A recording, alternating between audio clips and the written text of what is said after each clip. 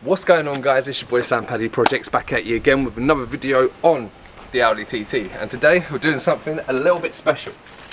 We're going to be installing the Stance Plus coilovers on the Audi TT. Now, I'm not sure how difficult this is going to be, but we're soon going to find out. And these coilovers were only £300, so I'm not expecting the world from them.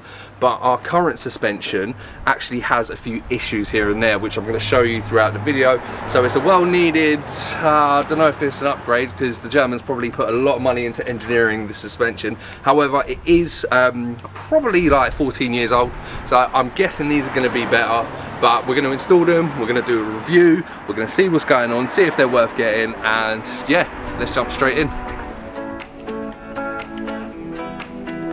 So let's loosen up these lug bolts and get the car up in the air. We're going to do the rear first so that's going to be a spring and a shock absorber separate. So with the wheel off we can expose the shock absorber. And that's the 21 mil bolt on that So grab your brake bar and loosen it up. And I grabbed a ratchet spanner just to undo it the rest of the way.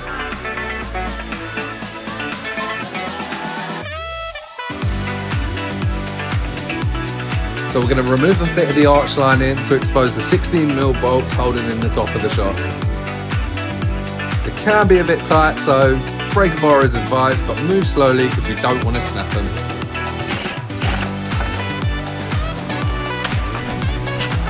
There we go. And don't lose this washer either. Nearly got away from me. So here's the old shock absorber. Now, after it had been compressed, we can see how slowly that actually comes back out. That is shot to pieces. So we need the top mount off it. So we're just gonna cut off the existing boot, which new hardware is advised. Vice grip the shock and gun off the top bolt.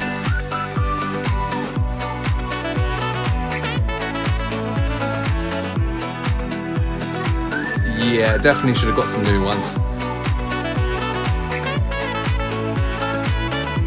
And with that done, we just want to future-proof this collar because we are going to be adjusting it, so let's get some copper grease on there.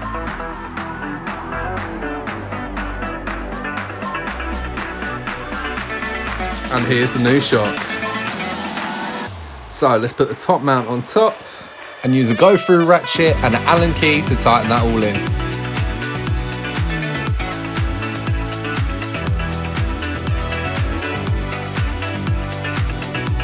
Can't forget about the cap.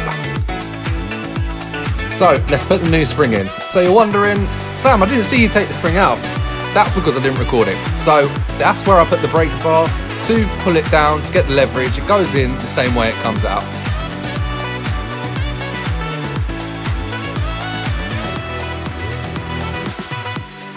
And the new shock is going in. And the top mount bolts.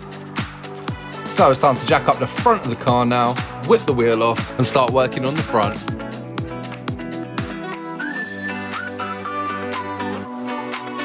You're going to need an M14 multi-spline bit to take off the collar.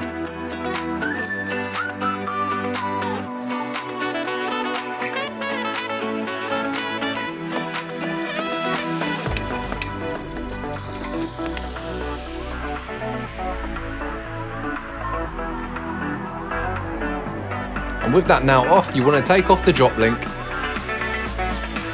And you want to use the, your go through ratchet again with a Allen key.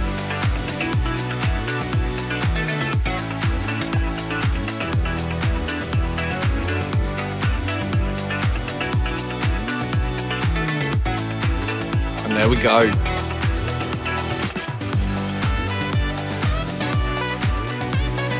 And with that off and out of the way, because we didn't have a spreader tool, we just used a chisel, which I'd highly recommend the spreader tool. Link in the description, picture on screen. And with the hammer, we just tapped it out. With the 13mm bolts on the top of the strap loosened, we were able to get it out. And with our spring clamps, we spring clamp the MacPherson strut down and remove the top hat. Not forgetting the vice grips holding it steady.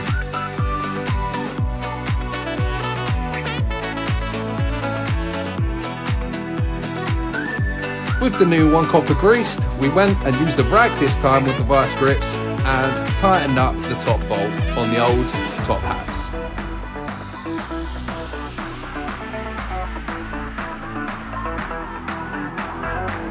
And now to set the height.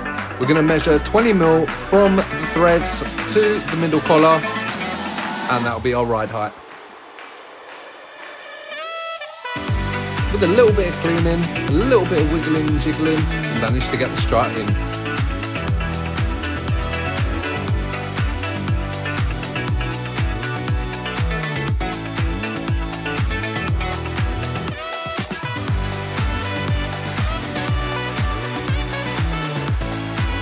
With it now slotting into place, we just use the jack to just jimmy it up a little bit until it was going in. And with it in, as you can see here, you want to make sure it all lines up, that crease lines up with the collar. And as you can see, it needs to go a little bit further, so with a little bit of wiggling, it went in. Before we tighten it up, let's give this bolt a little clean.